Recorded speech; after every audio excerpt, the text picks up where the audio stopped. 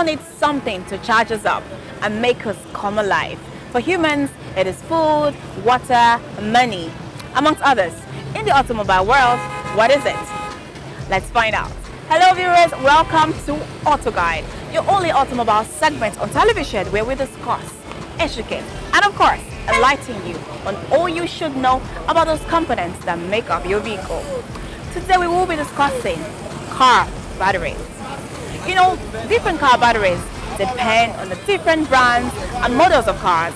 Some car batteries are at the back of the car while some in the front.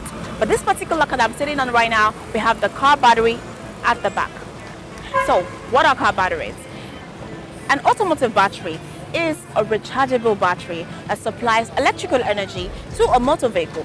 It is also known as an SLI battery. SLI meaning starting, lighting, ignition.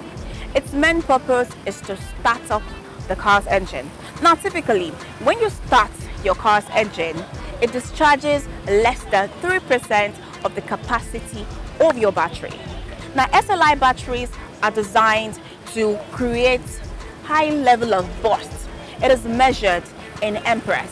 SLI batteries are not designed for deep discharge. So a deep discharge will reduce the lifespan of a car battery. Did you know that early cars did not have batteries? Bell was used in place of a horn, headlights were gas powered, car's engine was started with a crank. Not until 1920s when car batteries were invented and then we have cars with batteries. Now you knew that here on Auto Guide. Sometimes our cars refuse to start, we begin to worry, many questions come to mind. And now I'm going to give you six signs to look out for that might mean that your battery might be going bad. Number one, slow engine crank. Number two, check engine light.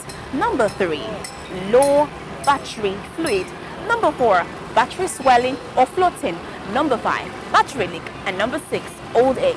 Now I'm going to be explaining them one after the other to aid easy understanding.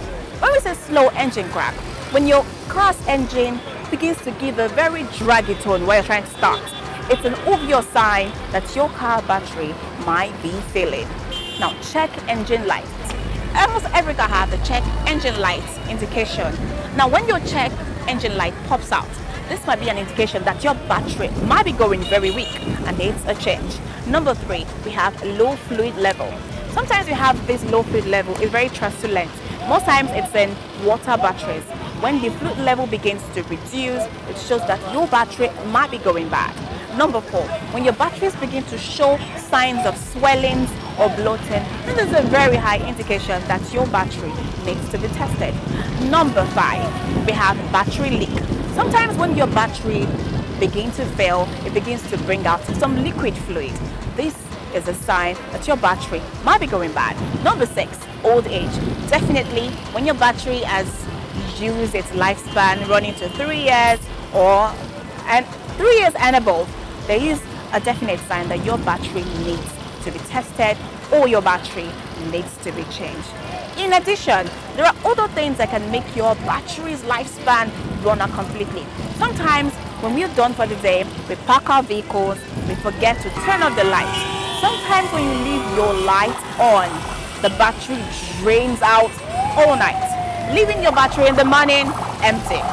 When you're driving, extreme temperatures, whether extreme cold weather or extreme hot weather, whether the weather, too cold weather, too hot weather affects the lifespan of your battery. This is how we cap it up on today's segment of Auto Guide. I hope you learned something new. Enjoy the rest of the program.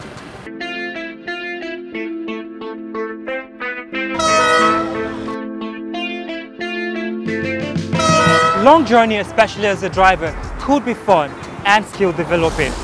But it could go the other way if you think you can always survive it even when you're fatigued. A 30 to 40 minutes rest while driving can't save your life and that of so many others. Never be in a hurry to get there. Take breaks in between. This is how we wrap it up on today's episode of AutoXpat Your Guide to Safety. My name still remains Ono Sepia. Keep a date with me next week, same time, same station. And please do not forget to download the AutoXpat app on the Google Play Store. You can also follow us on Instagram at official AutoXpat and on Facebook at AutoXpat Pro. And remember, alert today, alive tomorrow.